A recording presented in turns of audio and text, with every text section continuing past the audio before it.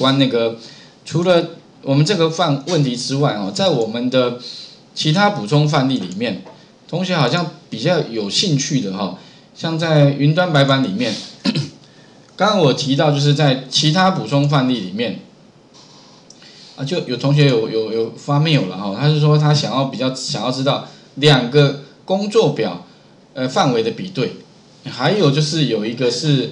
风险矩阵。啊，这个风险矩阵好像也是一个前几期同学发的问题，他好像是做有关保险方面的那个相关业务吧，他每天就要做很多很多这种逻辑判断，他会想说有没有什么简单的方法可以快速的话把那个呃风险哈把它快速做出来，所以我 demo 一下，第一个就是两个工作表，一个是本年度，一个是去年度，那这两个年度啊，也许它的范围都一样。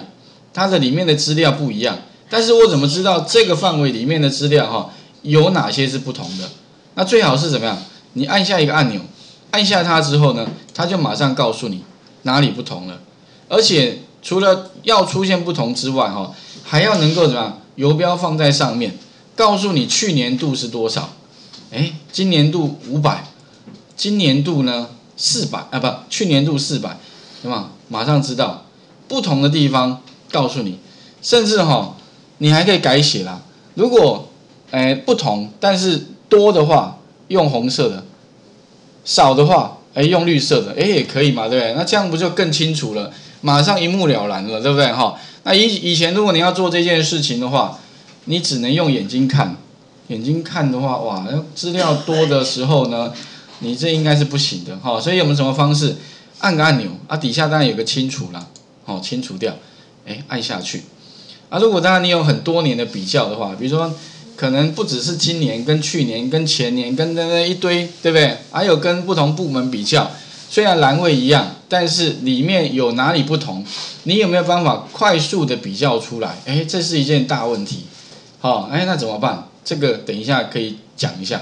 程式非常简单。好，第一个哈，第二个就是说呢，同学问的第二个问题就是风险矩阵。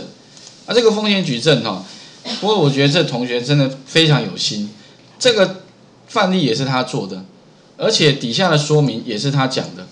我刚开始看了很久了，不过我对他的这种哈，当然我我也看到他的这个用心的程度哈，好像就不太不不好意思不帮他解这个问题，因为我光看我都已经头昏了，到底这是什么东西啊哈？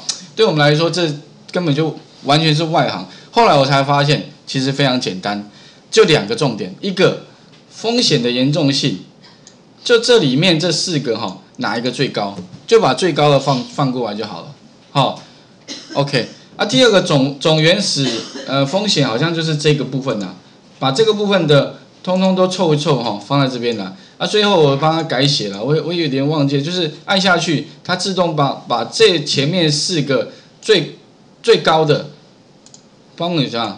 比如说里面有 very，这是 very high，这是 middle 吧，哈，啊这是 low，啊一个 high，啊就是里面哪一个最，这四个哪一个最高的，好，支取最高的，好，啊所以这这一只有 h high 嘛，哈，然后这个应该是 middle，然后这个呃 low，OK，好，所以这个是风险严重性，啊另外一个是总风险的，呃这个好像这个又更困难，它原来是写成这样子，那最后我帮他写成就是输出到这边了。这个应该啊，好像是这个，我可能要再再再看一下总风险风底下就这个，好像要来自这边吧。好，把这边的通通整理一下，啊，放在这里。哎，这个哈，如果有兴趣的同学可以先看一下。那待会呢，我们针对这两题然后给帮各位做一个额外补充。OK，好，好，画面先还给各位一下。所以有些事情哈，假如你每天都做了，但是如果有懂得一些快一点的方法的话，应该很快就可以帮忙把事情给解决掉哈。那我们先休息一下，等下再来看这个后面这两个补充题哦。